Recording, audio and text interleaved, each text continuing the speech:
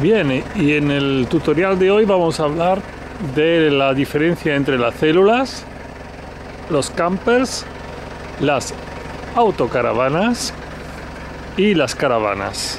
Vamos a analizar a fondo la diferencia que hay entre las cuatro cosas para que tengamos una muy buena idea de lo que necesitamos y realmente podamos tomar una decisión correcta sobre nuestra compra. Empecemos por uh, una comparación entre las caravanas, autocaravanas y células. Las caravanas, como sabéis, necesitan un coche para llevarla. Básicamente, si son grandes, necesitan ir a un camping y si son pequeñas, en general está prohibido acampar o a tener acampada libre y naturalmente no podemos soltarla del coche si estamos de viaje porque corremos el riesgo de que nos la roben.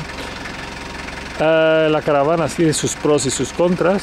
Sus pros es que cuesta mucho menos que una autocaravana y que la podemos llevar al camping y en muchos casos tiene una habitabilidad muy grande y unos espacios bastante amplios.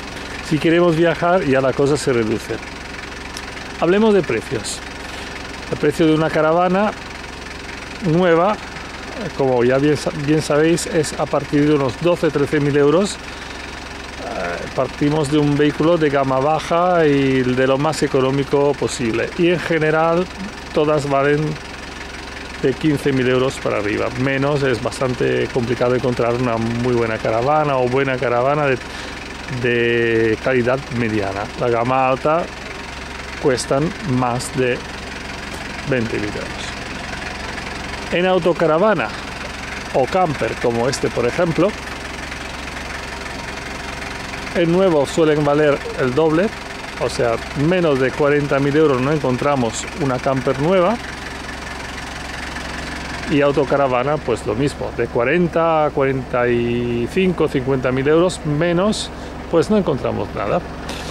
Y las células, que aquí tenemos unas células, pues para comprar la nueva nos hace falta de 15 a 20, 20 21 mil euros y menos tampoco encontramos nada.